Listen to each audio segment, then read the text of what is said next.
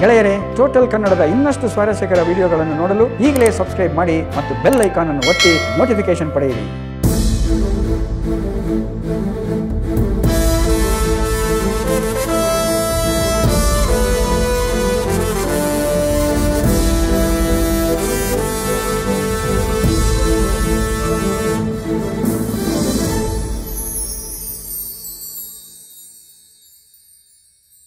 ಎಲ್ರಿಗೂ ನಮಸ್ಕಾರ.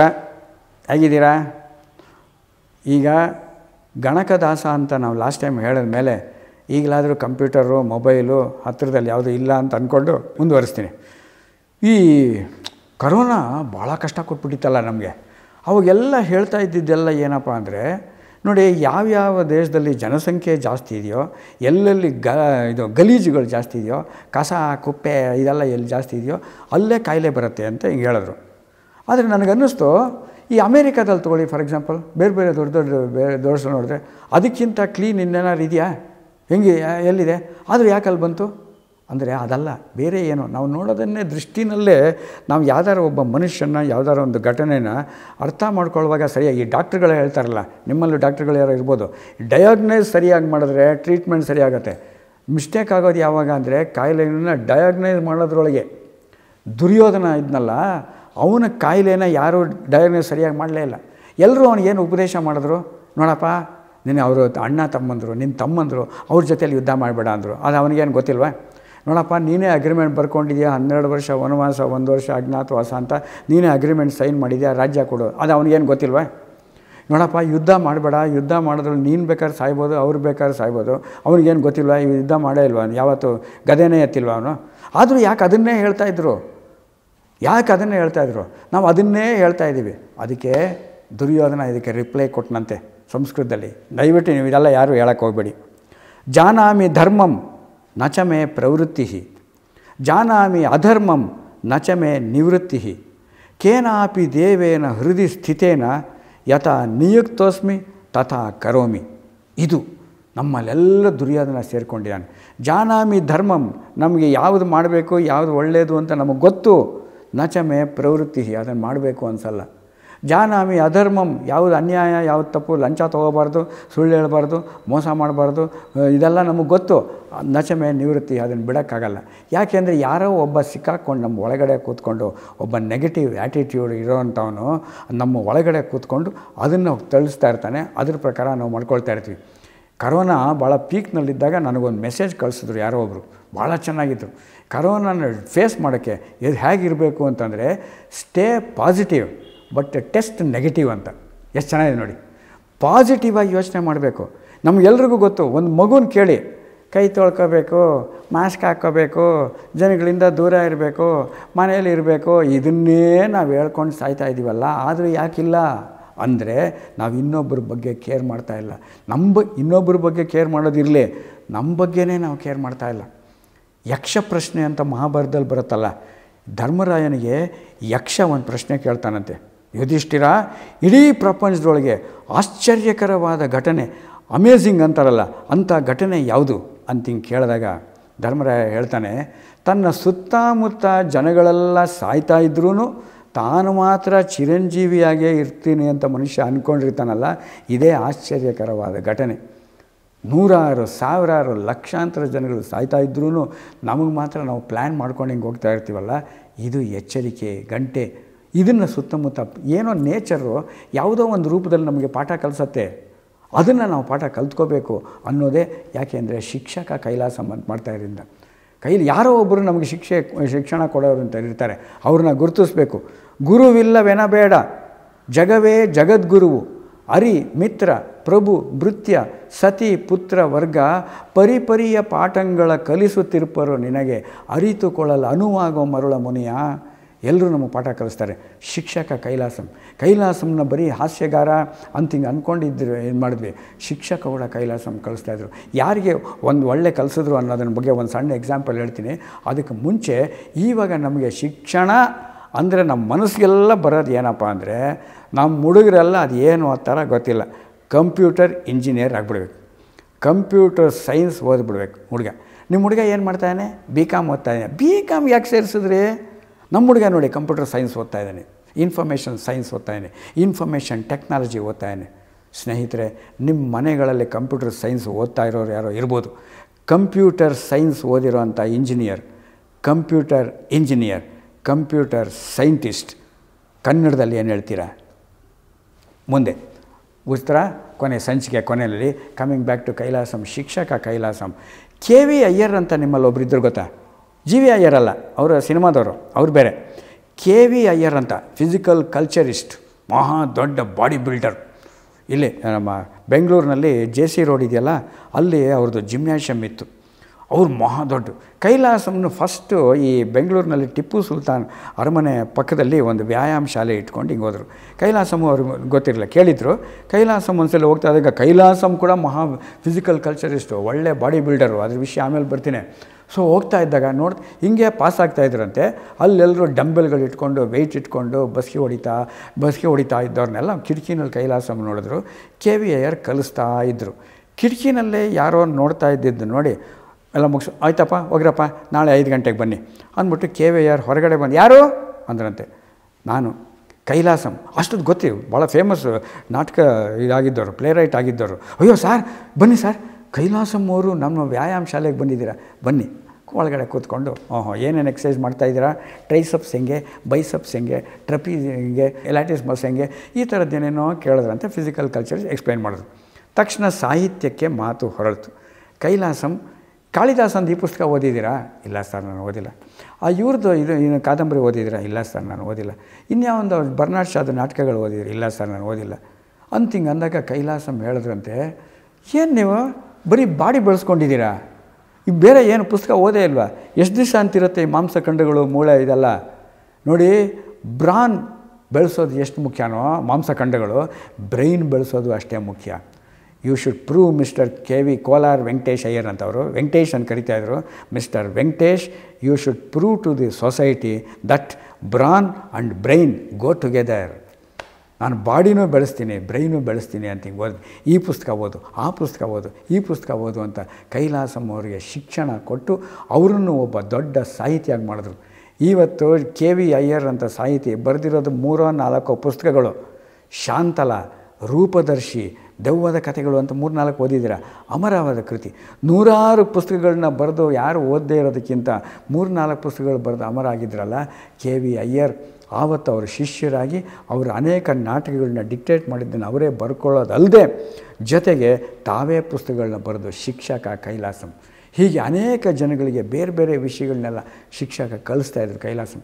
ಅವ್ರು ಬರ್ತಿರೋ ನಾಟಕ ಮಕ್ಕಳಿ ಸ್ಕೂಲ್ ಮನೇಲಲ್ವೇ ಮನೆಯಲ್ಲೇ ಕಳಿಸ್ಬೇಕು ಮನೆಯೇ ಮೊದಲ ಪಾಠಶಾಲೆ, ಜನನಿ ತಾನೇ ಮೊದಲ ಗುರುವು ಅನ್ನೋದನ್ನು ಕೈಲಾಸಂ ಎಲ್ಲ ಕಡೆ ಹೇಳ್ತಾಯಿದ್ರು ನಿ ಸೂಕ್ಷ್ಮ ಹಿಂಗೆ ಹೇಳ್ತಿದ್ದೆ, ತಾಯಿ ಅಂದರೆ ಕೈಲಾಸಂಗೆ ಭಾಳ ಭಕ್ತಿ ಭಾಳ ಭಕ್ತಿ ಭಾಳ ಕರುಣೆ. ರಾಶಿ ಅಂತ ನೀವು ಕೇಳಿದಿರಲ್ವ, ಈ ಕೊರವಂಜಿ ಎಡಿಟರು, ಅವರು ಡಾಕ್ಟ್ರ್ ಬೇರೆ. ಅವ್ರ ಮನೆಯಲ್ಲಿ ಕೈಲಾಸಂ ಒಂದು ಸ್ವಲ್ಪ ದಿವಸ ಇದ್ದರಂತೆ ಸಾಮಾನ್ಯವಾಗಿ ಪ್ರತಿ ದಿವಸ ರುಟೀನ್ ಏನಾಗಿತ್ತು? ಇವರು ಪ್ರತಿ ದಿವಸ ಕ್ಲಿನಿಕ್ ಮುಗಿಸ್ಕೊಂಡು, ಯಾರೋ ಡಾಕ್ಟರ್ ಎಂ ಶಿವರಾಮ್ ಕ್ಲಿನಿಕ್ ಮುಗಿಸ್ಕೊಂಡು ರಾತ್ರಿ ಒಂಬತ್ತು ಗಂಟೆಗೋ ಒಂಬತ್ತುವರೆಗೋ ಮನೆಗೆ ಬರ್ತಾಯಿದ್ರು ಅಷ್ಟೊತ್ತಿಗೆ ಕೈಲಾಸಂ ಬೆಳಗ್ಗೆ ಎದ್ದು ಏಳುವರೆಗೋ ಎಂಟು ಗಂಟೆಗೋ ರಾತ್ರಿ ಊಟ ಮಾಡಿಬಿಟ್ಟು ಮಲ್ಕೊಂಬಿಡ್ತಾಯಿದ್ರು ಅಕಸ್ಮಾತ್ ಎದ್ದಿದ್ರೆ ಇವರಿಬ್ಬರು ಬಂದು ಡಿಸ್ಕಸ್ ಮಾಡೋದು. ಹಿಂಗೆ ನಡೀತಾಯಿತ್ತು ಒಂದು ದಿವಸ ಒಂಬತ್ತುವರೆ, ಒಂಬತ್ತು ಮುಕ್ಕಾಲಾಗಿದೆ. ರಾಶಿ ಡಾಕ್ಟರ್ ಎಂ ಶಿವರಾಮ್ ಕ್ಲಿನಿಕ್ ಮುಗಿಸ್ಕೊಂಡು ಬಂದಿದ್ದಾರೆ. ಕೈಲಾಸಂ ಕಾಯ್ತಾ ಕೂತಿದ್ದಾರೆ. ಕೈಲಾಸಂ ಖಾತೆ ಹಾಕೋದು ನಮಸ್ಕಾರ, ಡಾ, ಸರ್, ಊಟ ಆಯಿತಾ? ಮಲ್ಕೊಳ್ಳಿ ನೀವೀಗ. ಇಲ್ಲಪ್ಪ, ಶಿವರಾಮ್, ನೀನು ಬರಲಿ ಅಂತ ನಿಮ್ಮ ಜೊತೆಯಲ್ಲೇ ಊಟ ಮಾಡಬೇಕು ಅಂತ ಕಾಯ್ತಾ ಇದ್ದೀನಿ. ಅಯ್ಯೋ, ಊಟನೇ ಮಾಡಿಲ್ವಾ ಸರ್ ನೀವು ಏಳುವರೆಗೆ? ಇವರು ಊಟ ಮಾಡಿಲ್ಲ ಅಂತ ಇವ್ರ ಮನೇಲಿ ಅವ್ರ ಹೆಂಡ್ತಿನೂ ಊಟ ಮಾಡಿಲ್ಲ. ಇಲ್ಲ ಇಲ್ಲ, ಇವತ್ತು ನಿಮ್ಮಿಬ್ಬರು ಊಟ ಮಾಡಿಬಿಡಿ ಫಸ್ಟು. ಆಮೇಲೆ ನಾನು ಊಟ ಮಾಡ್ತೀನಿ. ಹೆಚ್ಚೆ ಅದೇಂಗಾಗತ್ತೆ ಸರ್?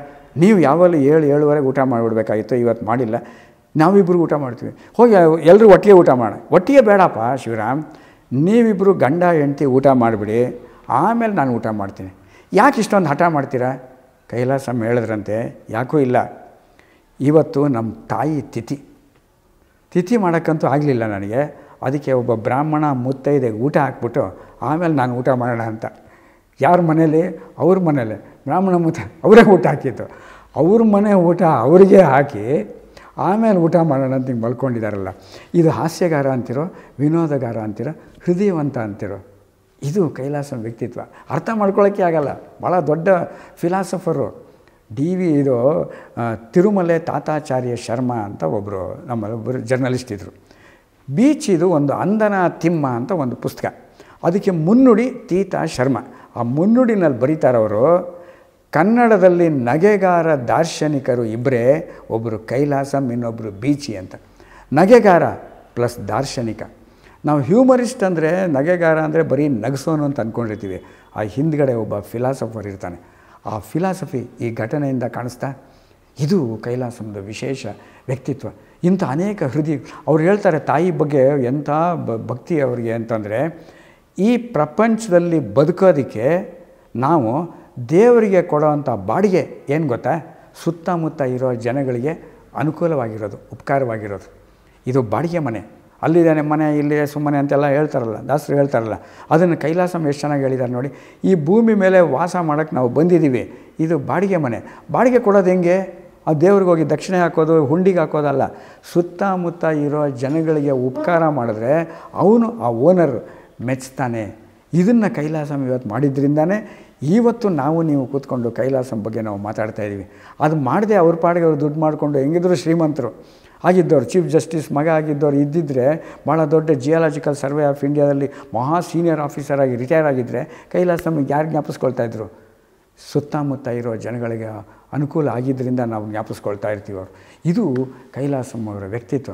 ಅವರ ಹೃದಯವಂತಿಕೆ, ಹೃದಯ ಎಲ್ಲಿರ್ತಾರೋ, ಅವ್ರ ನಾಟಕಗಳ ಬಗ್ಗೆ ಮುಂದೆ ಡಿಸ್ಕಸ್ ಮಾಡೋಕ್ಕೆ ಹೋಗ್ತೀವಲ್ಲ, ಯಾರೋ ಒಬ್ಬರು ಪ್ರಶ್ನೆ ಕೇಳ್ತಾರೆ, ನೀವು ನಾಟಕ ಬರೆಯೋದು ಯಾತಕ್ಕೆ ಅವ್ರ ನಾಟಕಗಳಲ್ಲಿ ಒಂದೊಂದು ಮಾತುಗೂ ಡೈಲಾಗ್ಗಳಲ್ಲಿ ಹ್ಯೂಮರ್ ಇದೆ, ಪಂಚ್ಗಳಿದೆ. ಸಿಕ್ಕಾಪಟ್ಟೆ ನಕ್ಕು ನಕ್ಕು ನಕ್ಕು ಸುಸ್ತಾಗ್ತೀವಿ ನೀವು ನಾಟಕ ಬರೆಯೋ ಉದ್ದೇಶ ಏನು? ಕೈಲಾಸಂ ಉದ್ದೇ ಹೇಳ್ತಾರೆ, ನಾನು ನಾಟಕ ಬರೆಯೋ ಉದ್ದೇಶ ಬುದ್ಧಿ ಇರೋರನ್ನ ನಗಿಸೋದು, ಹೃದಯ ಇರೋರನ್ನ ಅಳಿಸೋದು. ಹೃದಯ ಇರೋರನ್ನ ಅಳಿಸೋದು ನಮ್ಮ ಉದ್ದೇಶ. ಅಂದರೆ ನಮ್ಮ ಜನಗಳಲ್ಲಿ ಕೈಲಾಸಂನ ನಾಟಕಕಾರ, ಅವರು ಹಾಸ್ಯಗಾರ ಅಂತ ಬ್ರ್ಯಾಂಡ್ ಮಾಡಿರೋದ್ರಿಂದ ನಾವು ಬುದ್ಧಿ ಜಾಸ್ತಿ ಉಪಯೋಗಿಸ್ತಾ ಇದ್ದೀವಿ ಹೊರತು ಹೃದಯ ಜಾಸ್ತಿ ಉಪಯೋಗಿಸಿದಷ್ಟು ಕೈಲಾಸಂ ನಮಗಿನ್ನೂ ಹೃದಯ ಹತ್ತಿರ ಹತ್ತಿರ ಆಗ್ತಾರೆ. ಕಿರಿ ಆಳದ ನಗೆ ನೀರಿನ ಮೇಲೆ ತಿರುಗುತ ಬಹುವೇಳೆ ಕಣ್ಣೀರಿನ ಕಡಲಿನ ಪಾಲು ಹಾಸ್ಯದ ಹರಿಗೋಲು. ಅವ್ರದ್ದೊಂದು ಇಂಗ್ಲೀಷ್ ಪದ್ಯನ ಕನ್ನಡ ಟ್ರಾನ್ಸ್ಲೇಟ್ ಮಾಡಿರೋರು. ನಗು ನಗ್ತಾ ನಗ್ತಾ ನಗ್ತಾ ಆದಮೇಲೆ ದುಃಖ ಬರುತ್ತೆ. ನೀವು ಈವನ್ ಜೋಕ್ ಕೇಳಿದ್ರು ಹಂಗೆ ಆಗುತ್ತೆ. ಸಿಕ್ಕಾಪಟ್ಟೆ ನಕ್ಕು ನಕ್ಕು ನಕ್ಕು ಕಣ್ಣಲ್ಲೆಲ್ಲ ನೀರು ಬಂತು ಅಂತ ಅನ್ನಲ್ವಾ? ಕೆಲವು ಹಾಸ್ಯಗಳು ದುಃಖ ನಕ್ಕಿದ್ರೆ ನಕ್ಕಿದ ಮೇಲೆ ದುಃಖ ಬರುತ್ತೆ. ಅದು ನಿಜವಾದ ಹಾಸ್ಯ. ಇವತ್ತು ನಕ್ಕಿ ಇನ್ನೊಬ್ಬರು ಕಾಲಿಗೆ ಬಿದ್ದರು ಅಂತ ನಗಿಸೋದಲ್ಲ. ಕೈಲಾಸ ಮಾಡಿರೋ ಹಾಸ್ಯಗಳೆಲ್ಲ ಆ ಥರ ಉತ್ಕೃಷ್ಟವಾದ ಹಾಸ್ಯ. ಬೀಚಿ ಕೂಡ ಅದೇ ಥರನೇ. ಬ್ಲ್ಯಾಕ್ ಹ್ಯೂಮರ್ ಅಂತ ಇಂಗ್ಲೀಷ್ನಲ್ಲಿ ಅದು ಹಿಂಗೆ ಅಂತ ಇರೋದು. ತಿಮ್ಮ ಅಂತ ಒಬ್ಬ ಇದ್ದ, ಅವ್ನಿಗೇನೋ ಹೊಟ್ಟೆ ಅಪ್ಸೆಟ್ ಆಗಿತ್ತಂತೆ. ಡಾಕ್ಟ್ರ್ ಹತ್ರ ಹೋದ, ತಿಮ್ಮ, ಈ ಟ್ಯಾಬ್ಲೆಟ್ ಬರ್ಕೊಟ್ಟಿದ್ದೀನಿ ಇದನ್ನು ಊಟ ಆದಮೇಲೆ ತಗೋ. ಊಟ ಆದಮೇಲೆ ತೊಗೊಂಡು ಮೂರು ದಿವಸ ಆದಮೇಲೆ ಬಂದು ಹೇಗಿದೆ ಅಂತ ನನಗೆ ಹೇಳು ಅಂದರು. ಒಟ್ಟದ ಓಟು ಮೂರು ದಿವಸ ಆದಮೇಲೆ ಪತ್ತೆನೇ ಇಲ್ಲ ಇವನು, ಒಂದು ವಾರ. ಡಾಕ್ಟ್ರ್ ಅದೇ ರೋಡಲ್ಲೇ ಹೋಗ್ತಾಯಿದ್ರು ತಿಮ್ಮ, ನಮಸ್ಕಾರ ಡಾಕ್ಟ್ರೇ ಅಂದ ಒಂದ್ಸಲಿ. ಏನಯ್ಯ, ತಿಮ್ಮ, ಹೆಂಗಿದೆ? ಆರೋಗ್ಯ? ಇಲ್ಲ, ಈಗಲೂ ಹಂಗೆ ಇದೆ. ಮತ್ತು ಟ್ಯಾಬ್ಲೆಟ್ ತೊಗೊಂಡ್ಯಾ? ಇಲ್ಲ, ತೊಗೊಳ್ಳಿಲ್ಲ ಡಾಕ್ಟ್ರೆ ಯಾಕೆ ಟ್ಯಾಬ್ಲೆಟ್ ತೊಗೊಳ್ಳಿಲ್ಲ? ಅಂದರು, ನೀವು ಹೇಳಿದ್ರಲ್ಲ, ಊಟ ಆದಮೇಲೆ ತಗೋ ಅಂತ. ಮೂರು ದಿವಸ ಅಂದ ನನಗೆ ಊಟನೇ ಇಲ್ಲ ಅಂದ ನಗು ಬರುತ್ತೆ, ಆದರೆ ಹ್ಯೂಮರ್ ಅದು ಹಿಂದೆ ಬ್ಲ್ಯಾಕ್ ಹ್ಯೂಮರ್ ಅಂತ ದುಃಖ ಇದೆ. ಕೈಲಾಸಂ ನಾಟಕಗಳಲ್ಲಿ ಅಂಥ ಬ್ಲ್ಯಾಕ್ ಹ್ಯೂಮರ್ ಅದಿದೆ. ಮುಂದಿನ ಎಪಿಸೋಡಲ್ಲಿ ನಾವು ಕೈಲಾಸಂನ ಕೆಲವು ನಾಟಕಗಳನ್ನು, ಉದಾಹರಣೆ ಸಮೇತ ಮೊದಲನೇ ನಾಟಕ ಯಾವುದು? ನಾನಾಗಲೇ ಹೇಳಿದೆ ಸಾವಿರದ ಒಂಬೈನೂರ ಹತ್ತೊಂಬತ್ತನೇ ಇಸ್ವಿಯಿಂದ ಮೂವತ್ತೈದನೇ ಇಸ್ವಿ ಅಷ್ಟೊತ್ತಿಗೆ ಅವರೆಲ್ಲ ನಾಟಕ ಮುಗಿದ್ರೂ ಇವತ್ತು ಅವ್ರ ನಾಟಕ ಜ್ಞಾಪಿಸ್ಕೊಳ್ತಾ ಇರ್ತೀವಿ. ಕೈಲಾಸಂ ನಾಟಕಗಳು. ಡಿ ವಿ ಗುಂಡಪ್ಪನವರು ಒಂದು ಕೈಲಾಸಂ ನಾಟಕದ ಒಂದು ನಾಟಕಕ್ಕೆ ಒಂದು ಮುನ್ನುಡಿ ಬರೀತಾ ಒಂದು ಮಾತು ಹೇಳ್ತಾರೆ. ನಮ್ಮ ಜನ ಇನ್ನೂ ಕೈಲಾಸಂ ನಾಟಕಗಳ ಸಂಪರ್ಕದಲ್ಲಿದ್ದಾರೆ ಅಂತಂದರೆ ಅದರ ಅರ್ಥ ಅವರು ಮಾನಸಿಕವಾಗಿ ಆರೋಗ್ಯವಾಗಿದ್ದಾರೆ ಅಂತ ಅರ್ಥ. ಮಾನಸಿಕ ಆರೋಗ್ಯ ಕೊಡುತ್ತೆ. ಇವತ್ತೆಲ್ಲ ಡಿಪ್ರೆಷನ್ನು ಆಂಗ್ಸೈಟಿ ಇದು ಆತ್ಮಹತ್ಯೆ ಕೌನ್ಸಿಲಿಂಗಲ್ಲಿ ಹೋಗ್ತಾ ಇರ್ತಾರೆ ಎಲ್ಲರೂ ಹೇಗೆ ಈ ಗಂಡನ ಹತ್ರ ಹೇಗೋದು ಅಂತ ಗೊತ್ತಿಲ್ಲ. ಹೇಗೆ ಈ ಹೆಂಡತಿ ಹತ್ರ ಬದುಕೋದು ಅಂತ ಗೊತ್ತಿಲ್ಲ. ಹೇಗೆ ಈ ಬಾಸ್ ಯಾವಾಗಲೂ ಕಿರಿಕಿರಿ ಅಂತ ಗೊತ್ತಿಲ್ಲ. ಕೈಲಾಸಂ ನಾಟಕ ಓದಿದ್ರೆ ಮಾನಸಿಕವಾಗಿ ಮನುಷ್ಯ ನಗ್ತಾ ನಗ್ತಾ ಹೆಂಗೆ ಆರೋಗ್ಯವಾಗಿ ಇರ್ಬೋದು ಅಂತ ಮುಂದಿನ ನಾಟಕ, ಮುಂದಿನ ಸಂಚಿಕೆಯಲ್ಲಿ ಕೈಲಾಸಂ ನಾಟಕಗಳ ಪ್ರವೇಶ ಡೈರೆಕ್ಟಾಗಿ ಮಾಡಿಬಿಡೋಣ ಅಂತ ಹಿಂಗೆ ಹೇಳ್ತಾ, ಈಗ ಕೊನೆಯದಾಗಿ ಏನು ಪ್ರಶ್ನೆ? ನಿಮ್ಮಲ್ಲಿ ಯಾರೋ ಕಂಪ್ಯೂಟರ್ ಸೈನ್ಸ್ ಓದ್ತಾ ಇದ್ದಾರೆ. ಪ್ರತಿಯೊಂದು ಮನೇಲೂ ಒಬ್ಬೊಬ್ಬ ಇದ್ದೇ ಇರ್ತಾನೆ ಸಂಪ ಕಂಪ್ಯೂಟರ್ ಇದ್ದೇ ಇರುತ್ತೆ, ಅಲ್ವಾ? ಕಂಪ್ಯೂಟರ್ ಸೈನ್ಸ್ ಅನ್ನೋಕ್ಕೆ ಕನ್ನಡದಲ್ಲಿ ಏನಂದ್ರಿ? ಮಾಹಿತಿ ತಂತ್ರಜ್ಞಾನ ವಿಜ್ಞಾನಿ. ಯಬ್ಬ ಇಷ್ಟಪ್ಪ ಪದನ ಮಾಹಿತಿ ತಂತ್ರಜ್ಞಾನ. ಓ ಭಾಳ ಕಷ್ಟ ಕಷ್ಟವಾದ ಪದಗಳೆಲ್ಲ ಹೇಳ್ಬಿಟ್ರಿ ಭಾಳ ಕಷ್ಟ. ನಾವೆಲ್ಲ ಟ್ರಾನ್ಸ್ಲೇಟ್ ಮಾಡುವಾಗ ಹೆಂಗೆ ಮಾಡ್ತೀವಿ ಗೊತ್ತಾ? ಎರಡು ಪದ ಕೊಟ್ಟರೆ ಇಂಗ್ಲೀಷು ಬೇರೆ. ಮೊದಲನೇ ಪದನ ಟ್ರಾನ್ಸ್ಲೇಟ್ ಮಾಡ್ಕೊಳ್ಳೋದು. ಎರಡನೇ ಪದ ಟ್ರಾನ್ಸ್ಲೇಟ್ ಮಾಡ್ಕೊಳ್ಳೋದು. ಕಂಪ್ಯೂಟರ್ ಸೈನ್ಸ್ ಕಂಪ್ಯೂಟರ್ ಅನ್ನೋಕ್ಕೇನು? ಗಣಕಯಂತ್ರ. ಸೈನ್ಸ್ ಅನ್ನೋಕ್ಕೇನು? ವಿಜ್ಞಾನ. ಕಂಪ್ಯೂಟರ್ ಸೈನ್ಸ್ ಅನ್ನೋಕ್ಕೇನು? ಗಣಕಯಂತ್ರ, ವಿಜ್ಞಾನ. ಇದು left side of the brain ಯೋಚನೆ ಮಾಡೋದು. Right side of the brain ಉಲ್ಟಾ. ಈ ಕಡೆಯಿಂದ ಬನ್ನಿ. ಸೈನ್ಸ್ ಅನ್ನೋ ಕನ್ನಡದಲ್ಲೇನು? ವಿಜ್ಞಾನ. ಕಂಪ್ಯೂಟರ್ ಸೈನ್ಸ್ ಅನ್ನೋಕ್ಕೇನು? ಈ ಜ್ಞಾನ. ಅಲ್ಲ ಈ ಜ್ಞಾನ. ಈ ಬ್ಯಾಂಕಿಂಗ್ ಈ ಕಾಮರ್ಸ್ ಈ ಮೇಲ್ ಅಂತಾಳಲ್ವ? ಈ ಅಂದರೆ ಎಲೆಕ್ಟ್ರಾನಿಕ್ ಜ್ಞಾನನೇ ವಿಜ್ಞಾನ ಇನ್ನು ಹೊಸ ಹೊಸ ಪದಗಳು ಕೈಲಾಸ ವಿವಿಧ ನಾಟಕಗಳನ್ನು ಮುಂದಿನ ಸಂಚಿಕೆಯಲ್ಲಿ ನೋಡೋಣ. ಸ್ನೇಹಿತರೆ ಎಲ್ರಿಗೂ ನಮಸ್ಕಾರ. Total Kannada YouTube channel. Subscribe ಮಾಡ್ಕೊಳ್ಳಿ. ನೋಟಿಫಿಕೇಶನ್ಗಾಗಿ ಬೆಲ್ ಐಕಾನ್ ಒತ್ತಿರಿ. Total Kannada dot com. ಈಗ ಯೂಟ್ಯೂಬ್ ಚಾನಲ್ ಪ್ರಾರಂಭ ಆಗಿದೆ. ದಯವಿಟ್ಟು ಇದನ್ನು ಸಬ್ಸ್ಕ್ರೈಬ್ ಮಾಡಿ ಬೆಲ್ ಐಕಾನ್ನ ಕ್ಲಿಕ್ ಮಾಡಿ ನೋಟಿಫಿಕೇಶನ್ ಕೂಡ ಎನೇಬಲ್ ಮಾಡಿಕೊಳ್ಳಿ.